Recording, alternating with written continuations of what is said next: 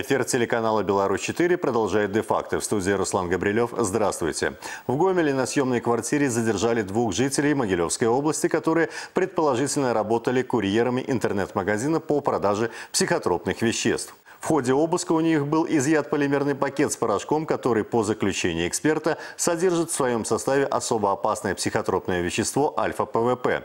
Также в квартире нашли еще 28 свертков с аналогичным психотропом, электронные весы, пустые фасовочные пакеты и другие предметы. Впоследствии на территории Гомеля были обнаружены и изъяты закладки с 12 полимерными свертками с порошкообразным веществом. Следственным комитетом по данному факту возбуждено уголовное дело.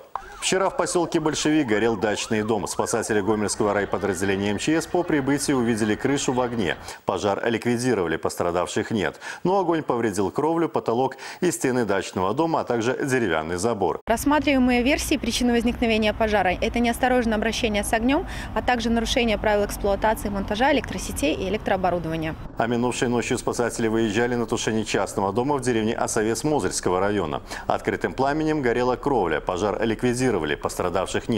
Предполагается, что причиной пожара могло стать неосторожное обращение с огнем.